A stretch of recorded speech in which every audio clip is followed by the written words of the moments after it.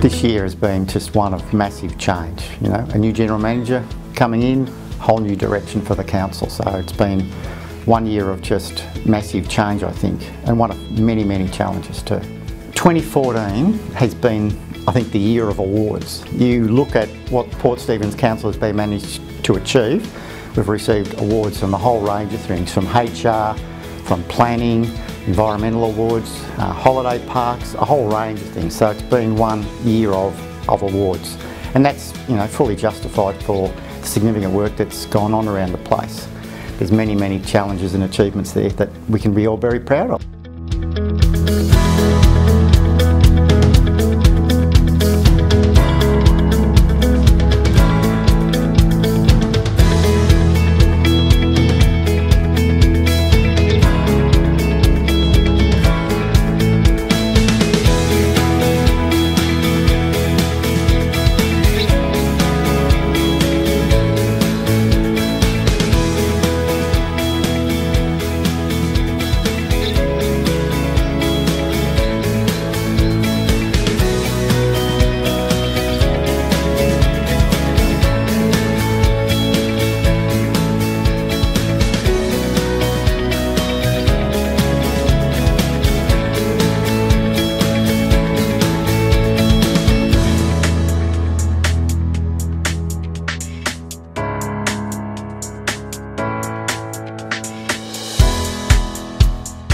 We're moving into the festive season, so I hope everyone has a, you know, a healthy, safe and joyous uh, festive season and that we come back all prepared, ready for another exciting 2015.